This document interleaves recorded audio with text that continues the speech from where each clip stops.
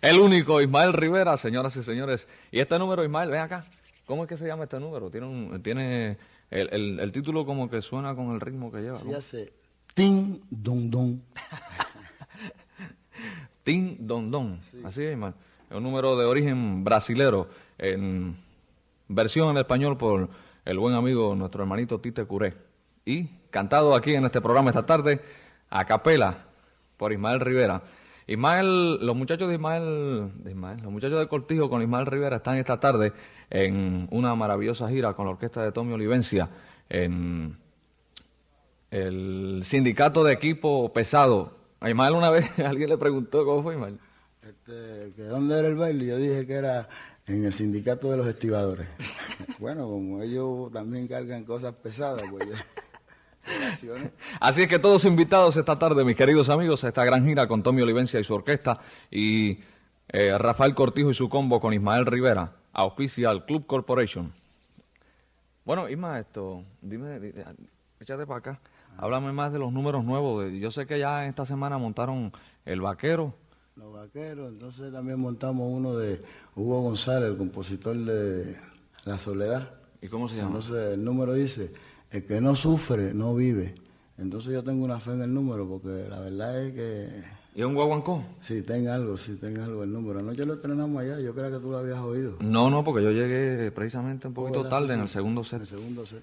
Así es que en el long plane, ya este long plane que viene próximamente de Rafael Cortijo y su combo con Ismael Rivera, van a estar incluidos más o menos cuáles números, Ismael. Bueno, va a estar en ese long plane, va a estar Simbate el Marino, Borinquen, El que no sufre no vive, La soledad no se puede, porque eso ya Rafa lo había hecho. Entonces, los vaqueros te lo mencioné ya. Entonces, lejos de ti, el guameré, ¿te acuerdas? el guameré. Entonces, pues hay unos cuantos números más, ya el plane está completo. ¿Cuántos cuántos números van a hacer?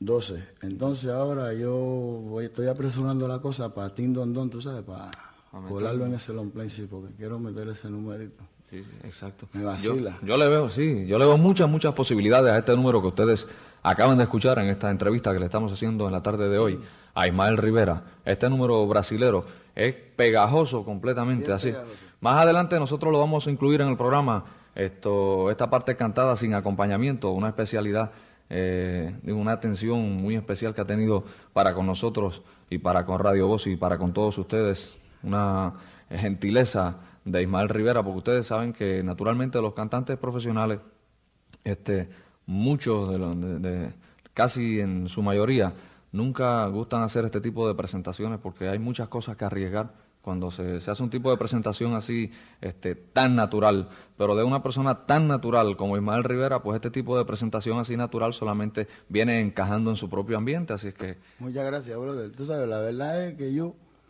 me siento bien chévere, tú sabes, aquí contigo y eso, entonces pues yo creo que el público sabe que esto es una cosa más o menos informal, Informal, una cosa que nosotros queremos llegarle bien chévere, tú sabes.